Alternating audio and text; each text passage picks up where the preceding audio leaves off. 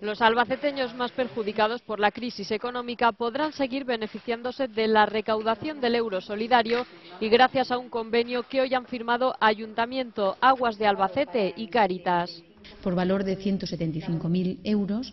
y que va destinado a cubrir necesidades muy prioritarias que se van a mm, trabajar o se van a priorizar de la mano de Cáritas y de nuestros servicios sociales del Ayuntamiento para adelantar en algunos casos a las familias que lo necesiten o las personas que lo necesiten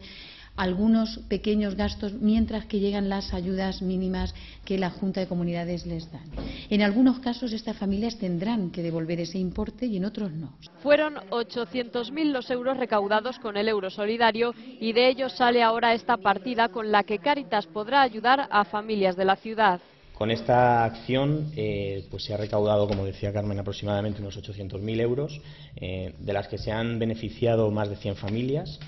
Mm, en principio los requisitos para, acceder a estas ayudas y que todavía se pueden, se pueden acceder durante este año 2011, pues eh, consiste en, estar en situación legal de desempleo, en estar empadronado en Albacete y en, no contar con unos ingresos superiores a unas determinadas cantidades en función del número de miembros. Y todo parte de lo mismo, de la realidad, y es comprobar qué es lo que tenemos, tener los ojos abiertos,